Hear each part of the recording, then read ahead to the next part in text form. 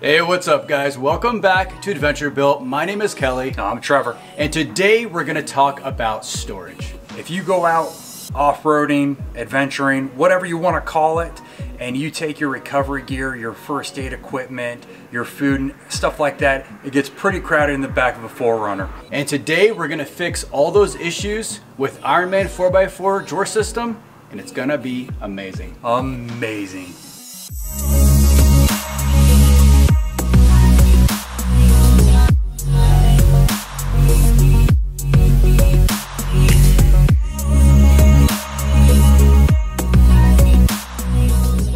I've already installed this once. I threw it in late at night, uh, right before our trip on the Arizona BDR. I wanted to go over what I did.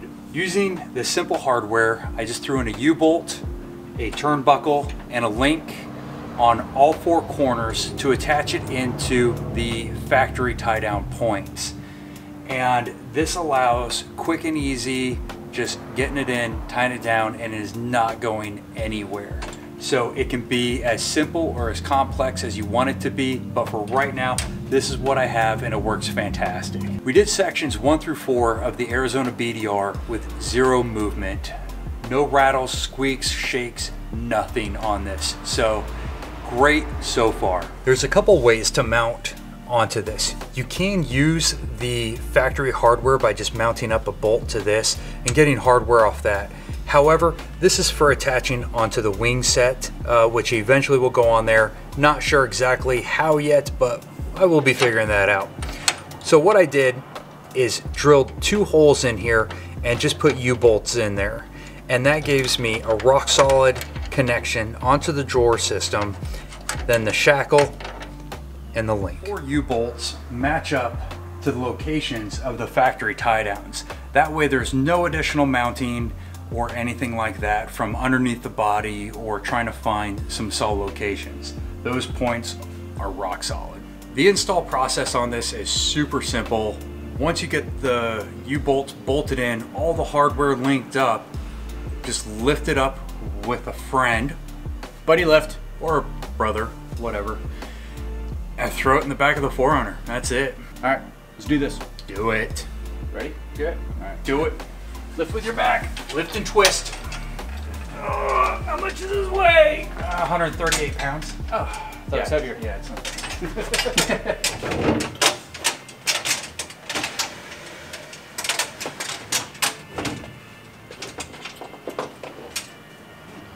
it's pretty easy. Now that the drawer system is in the back of the 4Runner, all we have to do is attach the hardware to the factory tie down points. That is the link tightening that down, then to the turnbuckle, tightening that down, and that's it.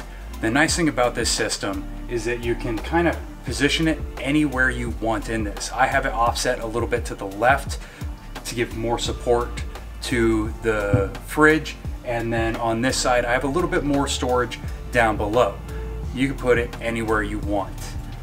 Also, if you're interested in the hardware, you can find that in the link in the description below. All right, first thing you want to do is make sure that the turnbuckle can reach the tie down point. Once the tie down point, the link is around the tie down point, go ahead and lock that up good and tight. Then from there, just tightening up the turnbuckle, make sure you're going the right way.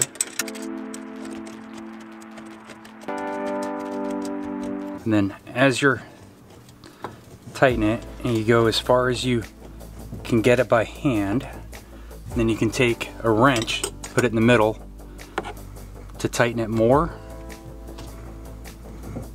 But then take on this turnbuckle, we have a 10 millimeter nut. Want to get those against it. And you want to make sure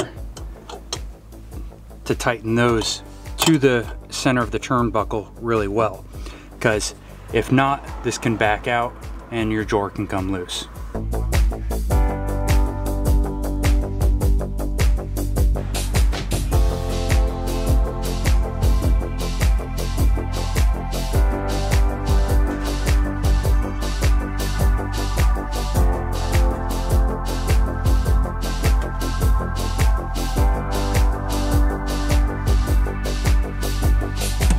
As you can see on this side, I have mostly my recovery gear in here.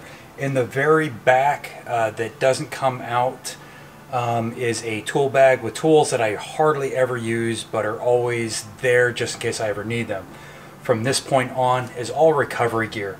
I have my kinetic straps, my tree savers, I've got my tire repair kit, I've got my winch controller and lead in here, my uh, Indiflate um, air system, all easily accessible, ready to go in need of recovery or airing up and airing down, which we do every time we go on and off the trail.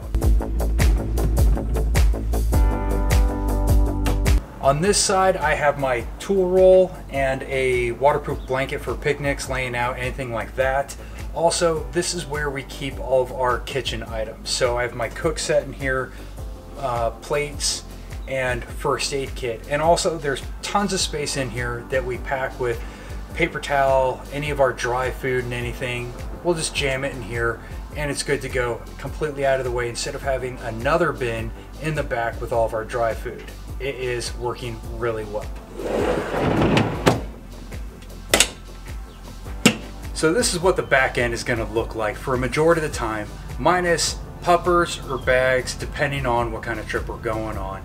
As you can see, there is tons of space back here. Pairing the drawer system with the Blue Ridge Overland Gear attic, there is now tons of gear. The kids can put jackets, pillows, any soft goods up there or little packs up top. And now we have tons of gear room back here. Awesome setup. Not only is there a ton of gear room back here, however, it's efficiency of use of what I have. So adding the drawers gives me usable space. I can get to things a lot more easier. I mean, ease of use, hands down, can't beat a drawer system. Not only do I have a ton of space back here with the drawer system, I also have a lot more usable space. When I open up a drawer, I have easy access to all of my recovery gear. I can grab something and go faster and more efficient. I mean, it is an amazing setup. When I have it set up for cooking, I have all of my cooking gear and food right here. So everything is just handy. I don't have to pull out bins, dig through things, and try to find what I need for that moment. All right, guys, so that wraps up Trev's drawer system from Ironman 4x4. It really is an impressive system. I highly recommend if you are in the market for double drawers or single drawers. Did they make a single drawer? Yeah, so they have two options. They have a dual drawer and they have a single drawer. Uh, I went with a two drawer so that way the drawers aren't going to be as heavy. And also to note, each drawer on this has a 200 pound weight limit. I mean, I can pretty much get in one of these drawers and it shouldn't break. Shouldn't, depending on what I eat that day. also, they come in different lengths. For my use, I have the boys sitting in the back seat, so I have the shortest, which is a 900 millimeter drawer length. However, they have three other options. Uh, so if you want, if you don't use your back seats and you want longer drawers, you can actually put the seats down and have a full length system coming down. So you got a lot, lot more drawer storage at that point. Uh, you could probably sleep on top. Yeah, that is a lot of versatility. All right, guys. Well, that wraps it up. Be sure to like, be sure to subscribe, and we'll see you guys next time. Peace. I think that was pretty good. Yeah. Oh, oh out crikey! So we've done section one through four. No, I said so, didn't I? You did. so you did. So I did. to the mounting. That mount. Oh my god. Why is that a tongue twister? Blah, blah, blah. All right. Hey, you want your face in there or no? Just, just here. It's, it's the most important part. Got distracted. I thought a car was coming, but it didn't. You got things. I got things, stuff. My mechanics rule. Mechanics rule. Mechanics Roll. Roll. You guys roll. And of course, all the times that I'm screwing up, there's no cars. Every time I'm like, okay, I'm gonna nail it. Tons of cars. How does it look with the arm up? Does it look? I look chill. Like you want to hang out with me? Yeah. You can't really see the fridge though. Nailed it. Nailed it. That's that was the thing. All right. I almost said this is what the ass end is gonna look like. it This was is like what my right there. ass looks like. This is what the ass looks like. Sweet. All right. Great job, Tiger King. So, so. Hi.